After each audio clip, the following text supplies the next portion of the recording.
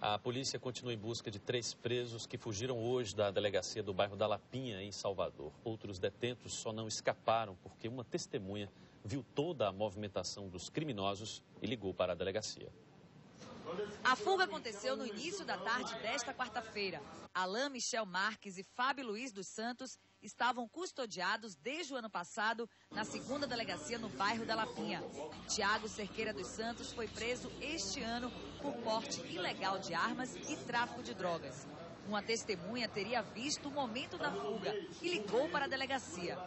Eles estavam aqui no pátio tomando um banho de sol quando resolveram fugir por este espaço aqui do teto da delegacia. E como a gente observa, um espaço relativamente pequeno para a passagem deles. Eles forçaram a parte posterior do teto do xadrez, uma rede metálica, e provavelmente com um instrumento contundente, um pau ou um ferro, forçaram essa malha e conseguiram uma, um pequeno buraco, o suficiente, de tanto para quem prendesse fuga. A delegacia tinha capacidade para 16 presos, mas no momento haviam 24. A polícia já está nas ruas à procura dos fugitivos. Não só o pessoal do SI da delegacia, como de outras unidades da Polícia Civil e também da nossa co-irmã Polícia Militar. E até o grupamento GRAE, aquele grupamento aéreo também está fazendo a fiscalização da área e fatalmente nós vamos chegar a esses elementos. Nesta quinta-feira, o sol aparece com mais força e faz calor em quase todo o estado. Mas o tempo fica abafado, a nebulosidade aumenta e há possibilidade de pancadas rápidas de chuva no decorrer do dia. Veja a previsão para amanhã. Em Salvador, sol com chuva de manhã e diminuição de nuvens à tarde. Noite com céu aberto. A temperatura mínima é de 22 e a máxima de 31 graus. Em Lençóis, na Chapada Diamantina, sol e aumento da nebulosidade pela manhã. Podem ocorrer pancadas de chuva à tarde e à noite. As temperaturas variam entre 19 e 33 graus. Em Itacaré, no litoral sul, sol entre nuvens e possibilidade de chuva ao longo do dia. Temperaturas entre 23 e 30 graus. Em Anagé, no sudoeste, dia ensolarado e céu aberto. A mínima é de 20, a máxima de 33 graus. Em Correntina, na região oeste, predomínio de sol pela manhã e pancadas de chuva à tarde. A mínima fica em 21 e a máxima chega aos 34 graus. A maré vai estar alta às 5h47 da manhã. Às 11h38, maré baixa. Cheia novamente às 5h56 da tarde e baixa às 11h58 da noite. E agora o assunto é futebol. O Bahia entra em campo daqui a pouco contra o Juazeirense em busca da primeira vitória no campeonato. Quem traz as informações ao vivo, direto do estádio de Ipituaçu, é a repórter Lara Cavalcante. Boa noite, Lara. Como está a movimentação por aí?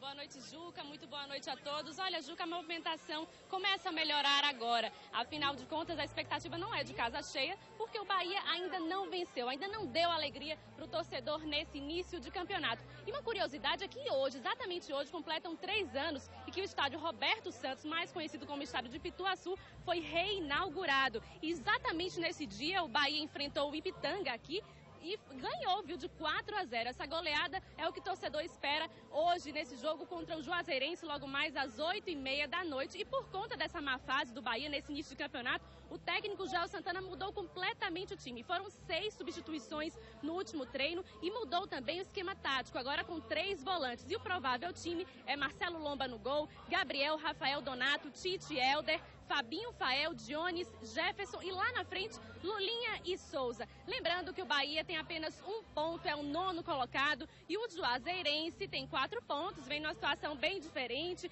é o terceiro colocado. E olha, já que o torcedor do Bahia mesmo não compareceu muito aqui hoje, a gente vê que a expectativa não é de casa cheia. Olha só quem compareceu aqui, ó. Essa torcida, Juca e Carol, veio dos Estados Unidos são turistas que provavelmente estão curtindo aqui o verão de Salvador e vieram aqui comemorar e torcer para o Bahia. Eles que gostam de futebol também, afinal de contas, eles querem ver hoje muitos gols. Eles conversaram comigo mais cedo e realmente, olha aí a animação deles. Vamos curtir um pouquinho.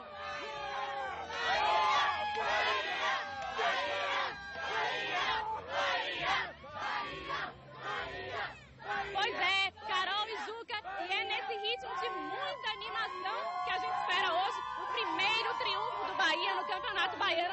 Voltamos com vocês aí no estúdio, sentiram a vibração? Sentimos sim a vibração, viu, Lara? Muito obrigada aí pela sua participação. E além de Bahia e Juazeirense, a terceira rodada do Campeonato Baiano vai ter bola rolando em outras cinco partidas. O Serrano vai à Feira de Santana enfrentar o Fluminense. Em Senhor do Bonfim, Feirense e Camaçari fazem um confronto de duas das equipes que ainda não venceram no campeonato. Em Itabuna, o time da casa vai ter a missão de segurar o líder Bahia de Feira. O Juazeiro pega o Atlético tentando se recuperar da goleada sofrida no Barradão. Estes jogos começam às 8h30 da noite. Às 10, o Vitória da Conquista recebe o Vitória. No próximo bloco, você vai conhecer os nove candidatos a Rei Momo do Carnaval de Salvador. E ainda, violência. Parentes de jovem morto a tiros acusam polícia, polícia civil pelo crime. Agora você vê imagens ao vivo do estádio de Pituaçu, onde o torcedor tricolor está aí bastante confiante pelos, pela conquista do Bahia desses primeiros três pontos contra o Juazeirense nessa terceira rodada do Campeonato Baiano.